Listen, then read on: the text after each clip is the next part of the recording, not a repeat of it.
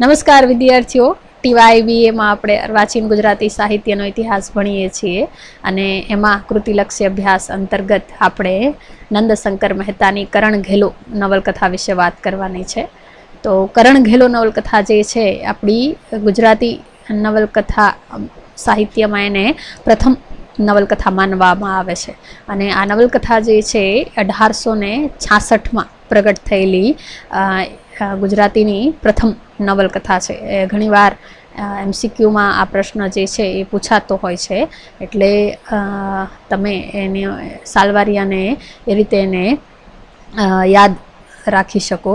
હવે કરણ ઘેલો જ્યારે રચાય, ત્યારે આપણી પાસે નવલકથાના કોઈ એવા નમૂનાઓ ન હતા અને એટલા માટે નંદશંકર મહેતાને એ સમયે ગુજરાતી ગદ્ય કથા ગદ્ય કથા લખવાનું રસેલ દ્વારા સૂચવવામાં આવ્યું. અને ત્યારે એમને નંદશંકરને સ્કોટ અને લિટન લિટનની કેટલીક નવલકથાઓ વાંચવા આપેલી.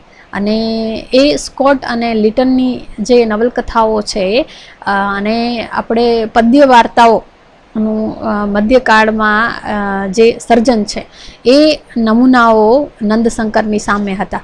એટલે એ મધ્યકાળની પદ્ય વાર્તાઓ અને લિટન અને સ્કોટની જે નવલકથાઓ છે, એના નમૂનાઓને સામે રાખી એનું અધ્યયન કર્યા પછી નંદશંકર દ્વારા આ નવલકથાનું સર્જન થયેલું છે. એટલે તમે જોઈ શકો કે નવલકથાની દ્રષ્ટિએ અ, કરણ ઘેલો નવલકથામાં ઘણી બધી મર્યાદાઓ છે. ઘણાય અદ્ભુત તત્વોનો જે પ્રવેશ થયો છે એમાં એની પાસે જે નમૂના હતા અથવા એને જે વાંચન કર્યું એનો મુખ્ય પ્રભાવ રહ્યો છે. એટલે આપણે કરણ કરણ ઘેલોનો અભ્યાસ કરીશું ત્યારે આપણે પહેલાં એનું કથાવસ્તુ અને પછી એની જે સિદ્ધિઓ છે અથવા તો એની જે મર્યાદાઓ છે એની આપણે વાત કરીશું. એટલે આમ જુઓ તો પ્રથમ નવલકથા તરીકે એનું એક મહત્ત્વનું મૂલ્ય છે કારણ કે ત્યાંથી નવલકથા સર્જન જે છે એ ગુજરાતીમાં શરૂ થયું. હવે આ નવલકથા જે છે એ સોળ પ્રકરણોમાં વિભાજિત છે અને આ નવલકથાનો આરંભ એ અણહિલપુર પાટણના ઇતિહાસ દ્વારા અથવા તો પાટણના વર્ણનથી નવલકથા આરંભાય છે. એટલે પ્રથમ પ્રકરણ જે છે એમાં પાટણનું જ આખું વર્ણન આવે છે અને બીજા પ્રકરણથી કરણની જે કથા છે એ આરંભાય છે. એટલે આ બીજા પ્રકરણમાં કરણની સવારી, એની જે નગરચર્યા છે માધવની પત્ની રૂપ સુંદરીનું દર્શન જે છે, એ બીજા પ્રકરણમાં લેખાયેલું છે. અને માધવની પત્ની જે રૂપ સુંદરી છે, એનું કરણ દ્વારા દર્શન થવું એ આ નવલકથાનું બીજ માનવામાં આવે છે. કારણ કે રૂપસુંદરી નું દર્શન કરી અને એના રૂપથી આકર્ષાય. અને કરણ જે છે, એ માધવના ગયા પછી સૈન્ય મોકલે છે અને રૂપ સુંદરીનું અપહરણ કરાવે છે. એટલે આમ જુઓ તો આ પ્રકારની કથા જે છે, એ આગળ વધે છે.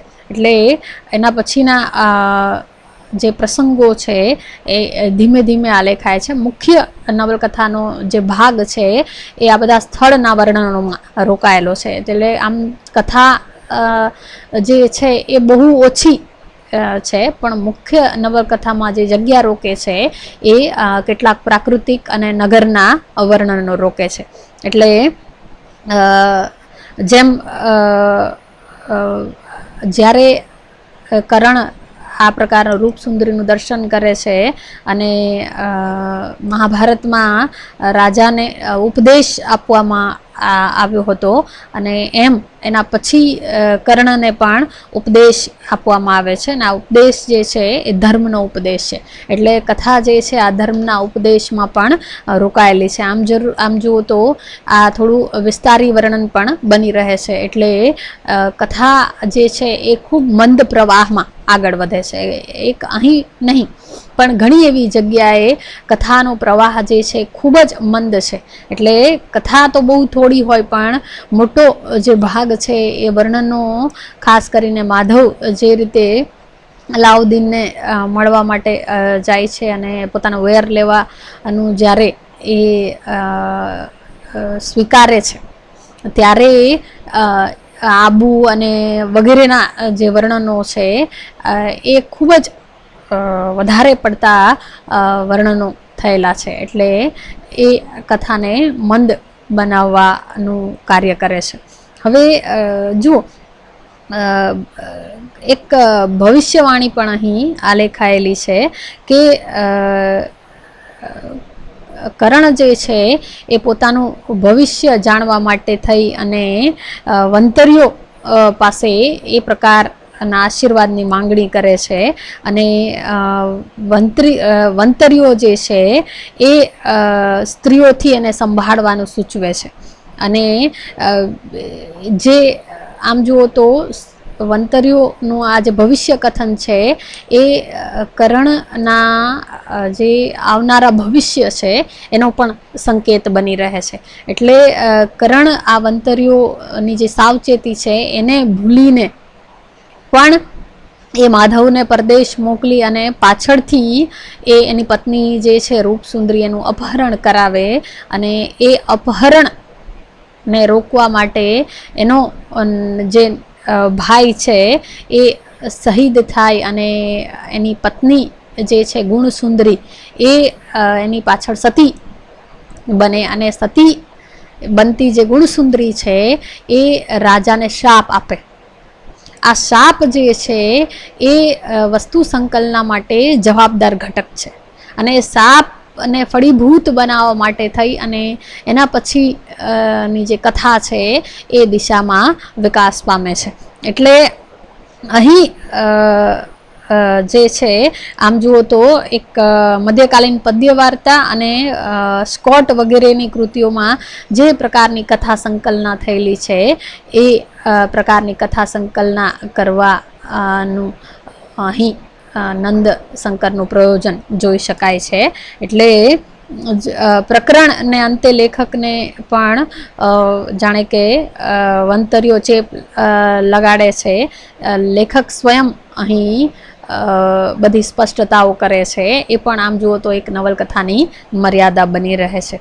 પછી ત્રીજા પ્રકરણમાં ઘટના પ્રવાહ જે છે વેગ પકડે છે અને અહીં પણ પ્રભાત વર્ણન કરી અને માધવને રાજાએ બહાર ગામ મોકલ્યો છે અને ત્યારબાદ આપણે આગળ વાત કરી કે રૂપસુંદરી અ, નું અપહરણની આખી ઘટના આવે છે અને રૂપસુંદરીને બચાવવા માટે એનો માધવનો નાનો ભાઈ જે છે એ કેશવ એ રાજાના સૈન્ય સાથે લડે છે અને વિરોચિત મૃત્યુ પામે છે. અને એની જે પત્ની છે, કેશવની પત્ની ગુણસુંદરી, એ એની પાછળ સતી થવાનો નિર્ણય કરે છે અને પ્રજા જે છે, એ આશીર્વાદની માગણી કરે છે ગુણસુંદરી પાસે જ્યારે એ ચિતા પર ચડતી હોય છે ત્યારે. પરંતુ ગુણસુંદરી જે છે, એ આશીર્વાદ આપવાની જગ્યાએ સાપ આપે છે. અને એ સાપ જે છે, એ આ પ્રમાણે છે કે તે રાજા ગણ્યા દાહડામાં વનવનમાં રઝળશે. જુઓ રાજા એટલે કર્ણ વનવનમાં વન રઝળશે, તેની બૈરીને પારકા લઈ જશે, તેની છોકરી દુઃખ પામી પામીને પરપુરુષના હાથમાં જઈ પડશે, તેનું મોત તે પોતે હાથે માગી લેશે. જુઓ, એટલે એની પત્ની, એની પુત્રી અને આ રાજા જે છે, આમ જુઓ તો આખા પરિવારનું નિકંદન નીકળી જાય એ પ્રકારનો આ શાપ છે. અને એ રીતે એની જે દીકરી છે એ પોતે મોત માગી લેશે. તે ક્યાં તથા ક્યારે મૂવો તે કોઈ જાણશે નહીં. અને રાજાના પાપથી રૈયત દુઃખી થાય એવો નિયમ તે પ્રમાણે આ અણહિલપુર પાટણનો નાશ થશે. એ પ્રકારનો સાપ જે છે એ ગુણસુંદરી ઉચ્ચારે છે. અને પછી આખી કથા જે છે આ સાપની સિદ્ધિમાં એ વિકાસ કરે છે. અથવા તો એની વસ્તુ સંકલના જે છે આ સાપને અનુસંધાનમાં રાખીને આખી સંકલના થયેલી છે. એટલે અહીં પછી ચોથા પ્રકરણમાં એક પછી એક બંને જતી જે ઘટનાઓ છે એ ત્વરિત આલેખાયેલી છે અને પછી જાણે કે કથા પ્રવાહ છે એ મંદ બને છે. અને માધવ જ્યારે બહાર ગામથી પાછો આવે છે ત્યારે એના પરિવાર પર થયેલા અત્યાચારોની જાણ એને થાય છે અને તે વેર લેવાનો નિર્ણય કરે છે. વેર કેવી રીતે લેવો? તે અંબા ભવાની પાસે એનું દિશા સૂચન માગે છે અને એ પ્રકારની કથા લેખાય છે અને પછી એ સિદ્ધપુર, અંબાજી, આબુ, મેવાડ વગેરેના જે સ્થળ ના વિગત વિગત પ્રચુર વર્ણનો છે, એ આમ જુઓ તો એક કથાની મર્યાદા બની રહે છે. કારણ કે માધવ જે છે, વેર લેવા નીકળેલો છે. અને વેર લેવા નીકળેલો જે માણસ હોય, વેરની આગમાં એ ધગધગતો હોય. અને એવા સમયે એને આ રીતે પ્રવાસનું આલેખન કરી અને આ બધા સ્થળોનું આલેખન કરીને એને પ્રવાસના વર્ણનો, પ્રાકૃતિક વર્ણનોમાં કેવી રીતે રુચિ પડે. એટલે એ રીતે અહીં ઔચિત્યનો પણ અભાવ છે. એટલે એ દ્રષ્ટિએ પણ આ નવલકથાની મર્યાદા બની રહે છે. એટલે પાંચમું પ્રકરણ આમ જુઓ તો આખું અનાવશ્યક છે અને પ્રકરણના અંતે માધવ જે છે હજી દિલ્હી પહોંચ્યો નથી અને એ રીતે કથા જે છે એ આગળ વધતી નથી. અલાઉદ્દીન તો કથામાં બહુ જ ઓછા સમય માટે આવે છે અને ત્યારે પણ આમ જુઓ તો કથામાં ઔચિત્યનો અભાવ જોવા મળે છે.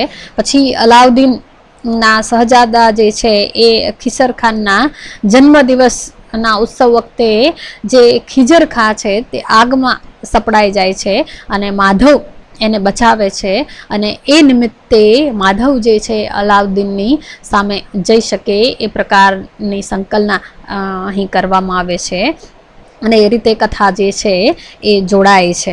અને ત્યારબાદ પણ અહીં કુતુબ મિનારનું સવિસ્તર વર્ણન અને માધવ અને સાધુની તેમજ અલાઉદ્દીન તથા કાજીની ધર્મ ચર્ચાઓ જે છે એ અહીં આલેખાય છે અને એ પણ જાણે કે કથાના પ્રવાહને મંદ પાડે છે.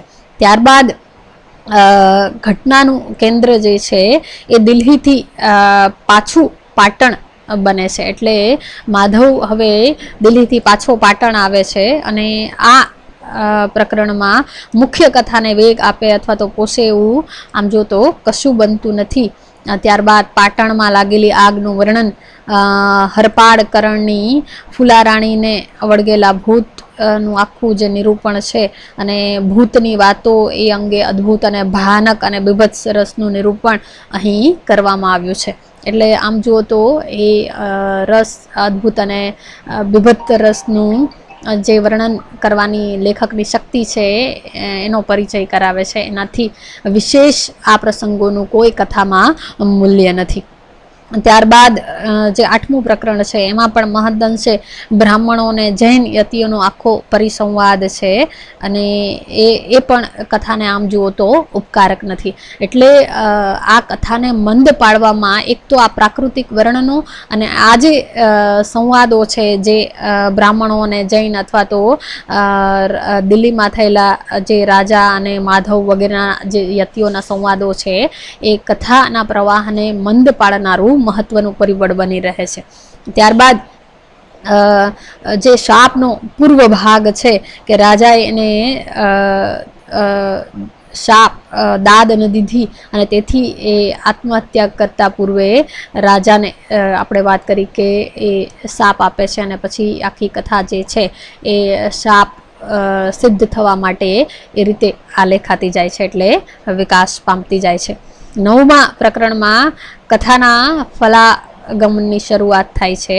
એટલે જે અલાઉદ્દીન નો, જે સાથી છે અફઝલ ખાં, એ પાટણ પર હુમલો કરે છે અને કરણ જે છે એની સામે યુદ્ધ કરે છે અને હરપાલની મદદથી કરણ જે છે ત્યાંથી નાસી જાય છે અને પછી એક એટલી ઘટનાઓથી સતીનો જે પ્રથમ ભાગ જે છે, શાપનો પ્રથમ ભાગ એ ફલિત થાય છે. એટલે રાજા વન વન રઝળશે. એટલે હરપાલની મદદથી કરણ જે ભાગ્યો અને પછી વનમાં એનો રઝળપાટ જે છે એ કથાનો અંશ અહીં અથવા તો શાપનો અંશ જે છે, અહીં ફળીભૂત થાય છે. અને ત્યારબાદ કરુણનો ઘેરો જુઓ કરુણ રસને ઘેરો બનાવવા લેખકે કરણને લડતા પૂર્વે પાટણમાં પુનઃ પ્રતિષ્ઠા પ્રાપ્ત કરતો દર્શાવ્યો છે. એટલે આમ જુઓ તો કથાની જે સંકલના છે, એ આયોજનપૂર્વકની ક્યાંક ને ક્યાંક આમ રજડી જતી હોય એ પ્રકારની સંકલના થયેલી છે. ત્યારબાદ, દસમા પ્રકરણમાં કોલા નો જોહેર સોરી આ જોહેર કરવાનો નિર્ણય એટલે કે અગ્નિ સ્નાન કરવાનો નિર્ણય અને મહેલને એ આગ લગાડી દે છે.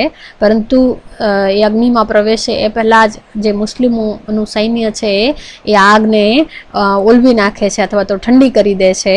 અને કૌલા જે છે એ પુરુષ વેશે ત્યાંથી નાસી જાય છે અને ત્યારબાદ પહેલા ભીલોના રાજાના હાથમાં પકડાય છે અને પછી અફઝલ ખાનનું જે લશ્કર છે એને પકડી લે છે અને છેલ્લે કૌલાને અલાઉદ્દીનની બેગમ બનાવવા માટે થઈ અને દિલ્હીમાં જવું પડે છે. અને એનાથી જે સાપનો બીજો ભાગ છે કે તેની બૈરી જે છે એ પારકા લઈ જશે. એ પણ આ રીતે ફળે છે અને અગિયારમાં પ્રકરણ નું જે ઘટના કેન્દ્ર છે, એ આ રીતે દક્ષિણનું બાગલાણ છે અને સ્થળ જે છે અહીં પરિવર્તન પામે છે. અને ત્યારબાદ અગિયારમાં પ્રકરણની ઘટનાઓ વચ્ચે આમ જુઓ તો નવ વર્ષનો ગાળો છે. એટલે અહીં જે છે સમયની દ્રષ્ટિએ કથામાં બહુ મોટું ગાબડું છે અને નવ વર્ષ દરમિયાન કરણની બે પુત્રીઓ દેવળ દેવી અને કનક દેવી એને મળી એ પ્રકારનું આલેખન થયેલું છે. અને કનકદેવીનું કનક દેવીનું મૃત્યુ પણ થાય છે અને તે સિવાય બીજા કોઈ પ્રસંગો અહીં આલેખાયેલા નથી. એટલે એક પુત્રીનું મૃત્યુ થાય છે.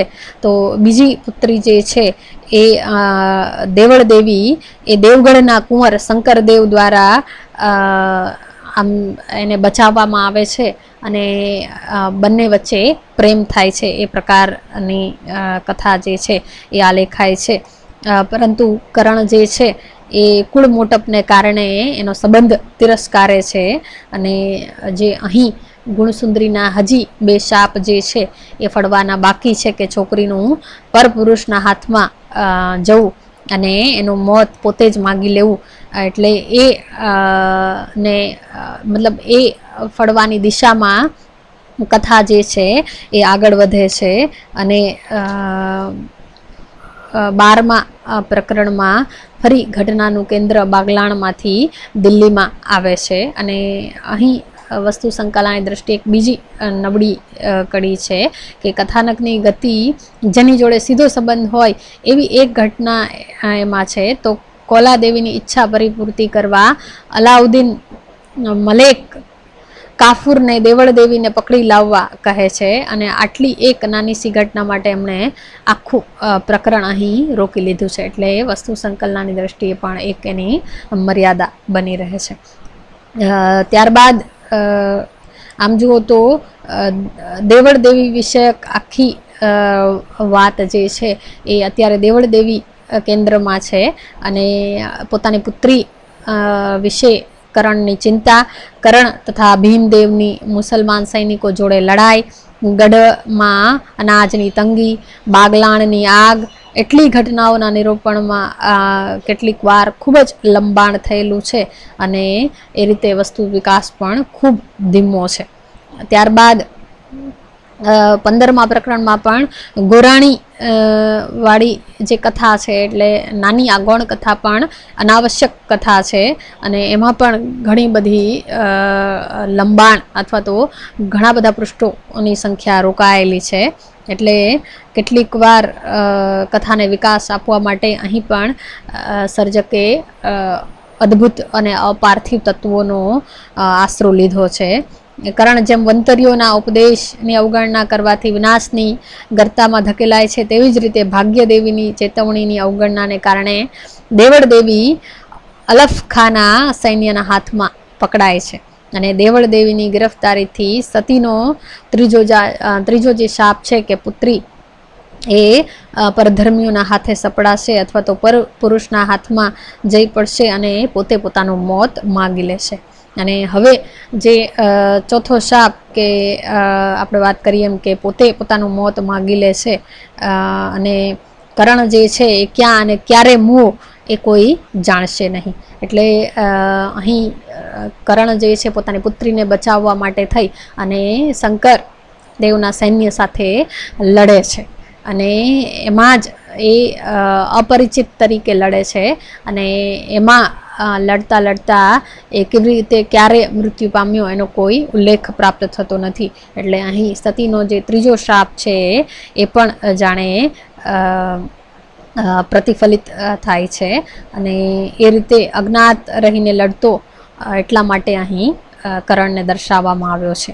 અને ત્યારબાદ પણ કથા જે છે એ પૂર્ણ થતી નથી, પણ કેટલીક ધર્મ ચર્ચા છે એ નવલકથામાં ખાસ્સી કરવામાં આવી છે અને એ રીતે કરણના મૃત્યુ પછી પણ કથા જે છે એ આગળ ચાલે છે અને એના સબ પર વાચકને થોડા આંસુ સારવાનું કહી લેખક કરણના કાળની એમના પોતાના સમકાલીન યુગ સુધી વાચકને લઈ આવી અને કરુણ પ્રસંગની અસરને ભૂંસી નાખવાની કેટલીક બાલિશ ચેષ્ટાઓ કરે છે.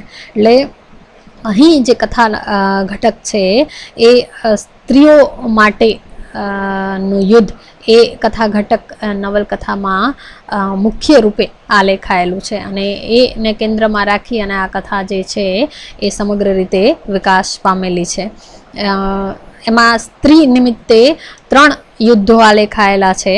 જેમાં પહેલું યુદ્ધ જે છે રૂપસુંદરીને પકડી લાવવા, મોકલેલા કરણના સૈનિકો સાથે કેશવનું યુદ્ધ એ જ કારણે માધવ પ્રેરિત અલાઉદ્દીન ના સૈનિકો સાથે કરણનું યુદ્ધ અને અંતમાં દેવળ દેવીને પકડવા આવેલા અફઝલ ખાના સૈનિકો સાથે કર્ણનું યુદ્ધ. આ રીતે નવલકથામાં ત્રણ યુદ્ધો આલેખાયેલા છે અને આ કથા વસ્તુની જે સંકલના છે એમાં આપણે વચ્ચે વચ્ચે વાત કરીએ એમ.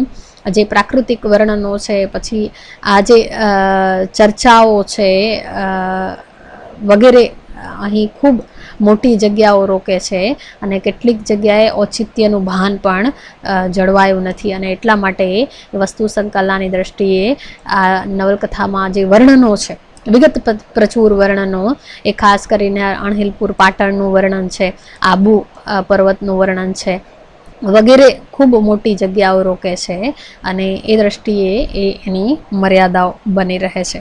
એટલે ઘણીવાર આ વર્ણનો વચ્ચેથી કાઢી લઈએ તો પણ આપણે આગળ વધી શકીએ એ પ્રકારનું એનું આયોજન છે. એટલે એ એની મર્યાદા બની રહે છે. બીજું પાત્રની પણ લેખકને પૂરેપૂરી ફાવટ નથી અને કથા નાયક કરણના શરીર તથા અલંકારોનું વર્ણન લેખકે સંસ્કૃત ની પરંપરા અનુસાર કર્યું છે. પણ જ્યારે એના સ્વભાવની વાત આવી ત્યારે એના બે દોષોનો ઉલ્લેખ કરીને સર્જક જે છે અટકી જાય છે. જેમ કે એનો સ્વભાવ જે છે એ ઉતાવળિયો, ઉન્મત્ત અને વિષય વાસના એ પ્રકારનો એના સ્વભાવગત લક્ષણોનું આલેખન કરી અને એ અટકી જાય છે.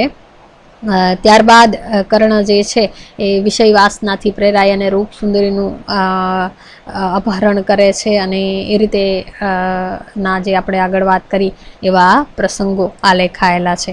એટલે કરણનો આ સ્વભાવ અને એ સ્વભાવના દોષ ના ફળ ભોગવવા સિવાય કરણ ના પાત્રનો બીજો વિકાસ જે છે એ જોઈ શકા મતલબ બહુ નવલકથામાં જોઈ શકાતો નથી. અને કર્ણ જે પછી પાછળ પોતાની પુત્રી માટે થઈ અને યુદ્ધ કરે છે. ત્યાં કેટલીક વાર ફરી કરણ પ્રત્યે સમભાવ જાગે એ પ્રકારનું એનું આલેખન થયેલું છે. એટલે ત્યારબાદ જે માધવ જે છે, આમ જો તો એ ખલનાયક તરીકે આ લેખાયેલો છે. એમ શરૂઆતથી જ લેખકે એની તરફ થોડું રહેમ નજરથી જોયું છે. વેરવૃત્તિથી છંછેડાયેલો માધવ દિલ્હી દોડે છે ત્યારે એના એ દેશદ્રોહી કૃત્ય પાછળ અંબા ભવાનીની પ્રેરણા છે એમ દર્શાવીને લેખકે એના દોષોનો ભાર જે છે એ હળવો કર્યો છે. અને એ પાટણ પાછો આવે છે, પછી પશ્ચાતાપને કારણે એની ઊંઘ હરામ થઈ જાય છે અને અંતે હરપાળ સમક્ષ આત્મતિરસ્કારની લાગણી વ્યક્ત કરી અને એ જાત્રાએ ચાલ્યો જાય છે. એટલે આમ પાત્ર નિરૂપણમાં લેખકે એના દોષ નિવારણનો સતત પ્રયત્ન કર્યો હોય એવું આપણને લાગે છે. તો રૂપસુંદરી તથા કોલાદેવીનું બાહ્ય વર્ણન અહીં અમુક અંશે કરવામાં આવ્યું છે, પણ એમના મનોભાવોનું વર્ણન લેખક જે છે એ કરી શક્યા નથી. એટલે આમ જુઓ તો આ જે છે એ આપણે પાત્ર લેખનમાં સમગ્ર પાત્ર સંદર્ભે પણ કહી શકીએ કે પાત્ર પાત્ર લેખનની કળામાં લેખક જે છે એ બાહ્ય વર્ણન કરી શકે છે, પણ પાત્રના જે સ્વભાવ અથવા એના ગુણોનું આલેખન કરવાનું આવે ત્યારે એકાદ બે વાક્યો અથવા તો એના મનોભાવોનું આલેખન કરવાનું આવે ત્યારે લેખક જે છે એના મનોભાવોનું આલેખન કરી શકતા નથી અને એ દ્રષ્ટિએ પાત્રો પાત્રલેખન પાત્ર લેખન સંદર્ભે પણ એની મર્યાદા બની રહે છે. આમ જુઓ તો નવલકથામાં મુખ્ય જે ભાગ રોકાયો છે એ એના વર્ણનોમાં રોકાયેલો છે. એટલે નવલકથાને સફળ બનાવવામાં જાણે એવું લાગે કે લેખકે વર્ણન શૈલીનો આધાર લીધો છે. અને એમાં પણ બાહ્ય સૃષ્ટિના વર્ણનોમાં જ એમની શક્તિ નો કંઈક પરિચય મળે છે. પાત્રના મનોભાવોનું નિરૂપણ કરવાનું આવે, ત્યારે એમાં એમને સફળ મળ સફળતા મળતી નથી. એટલે આમ જોઈએ તો નંદશંકરની જે આ શૈલી છે લેખનની, એના પર મેકોલોનો પ્રભાવ જોઈ શકાય જોઈ શકાય છે. તેથી વિસ્તાર ઘણો કરે છે અને ભાષા પણ ભારે ખમ યોજે છે. વર્ણન, કથન અને સંવાદ માટે સર્વત્ર એક જ પ્રકારની ભાષાનો એમણે નવલકથામાં ઉપયોગ કર્યો છે. અલફ ખાને દૂત કરણની સમક્ષ દેવળ દેવીની માગણી કરતા કહે છે, શું એક જોરાવર નદીનું પૂર હાથવતી અટકાવી શકશે? આસમાન તૂટી પડશે, તેને પગ વતી ઝીલી લઈ પોતાના બચ્ચાનું રક્ષણ કરવાના મતલબથી ટીટોળી ઊંચા પગ રાખી સૂવે છે. તેના જેવી બેવકૂફી તમારામાં છે? એટલે અહીં જુઓ, તમે જોઈ શકો કે કેવી અસ્વાભાવિક ભાષાનો પ્રયોગ અહીં થયેલો છે.